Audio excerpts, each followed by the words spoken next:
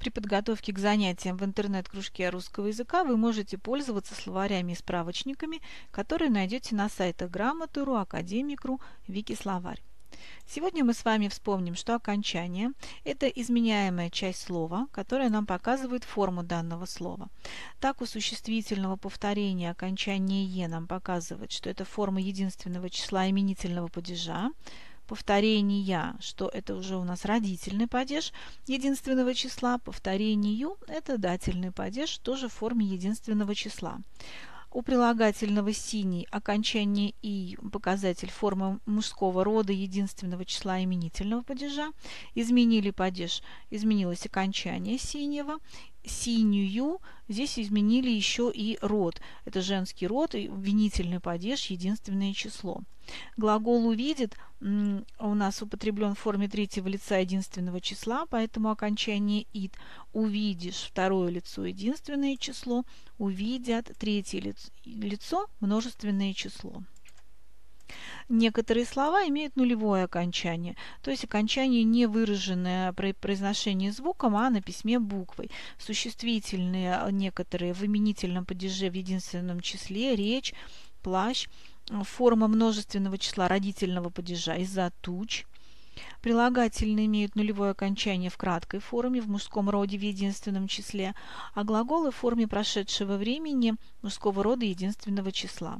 При изменении формы слова меняется окончание, появляется буква. Плащ – плащи, множественное число. Из-за туч – родительный падеж, над тучами – творительный падеж. Красив – красивый, множественное число. Увидел – мужской род, увидела – женский род. Окончаний нет у неизменяемых частей речи. Это наречие, слева, весело, на конце у них суффиксы. У неизменяемых существительных угостить кофе. Грамматически это у нас форма творительного падежа, но э, слово не имеет окончания, оно иноязычного происхождения. И нет окончания у служебных частей речи. Все это неизменяемые части речи.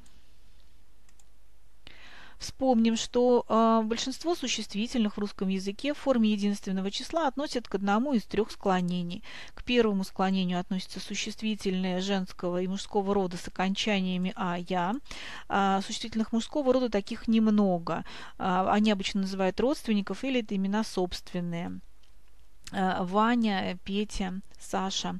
Э, Ко второму склонению относятся существительные мужского рода с нулевым окончанием и э, существительные среднего рода с окончанием ОЕ.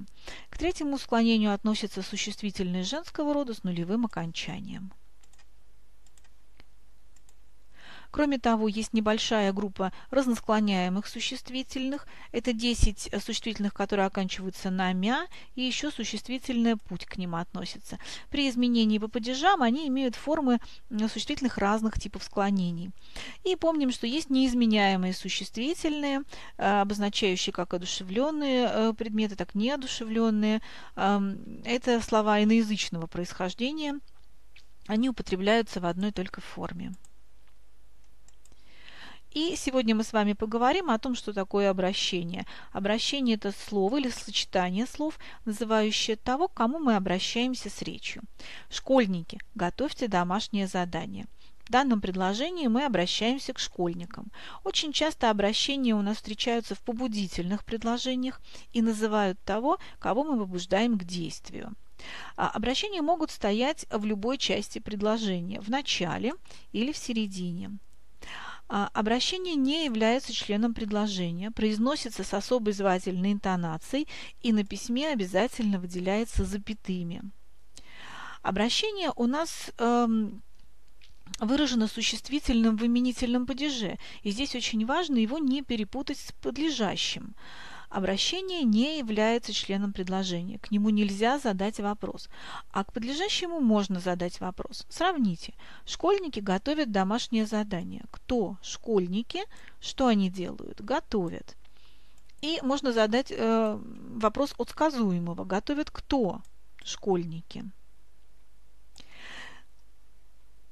И последнее. Если обращение стоит в начале предложения и произносится с особой интонацией, то после него можно поставить восклицательный знак, а следующее слово написать с прописной буквы.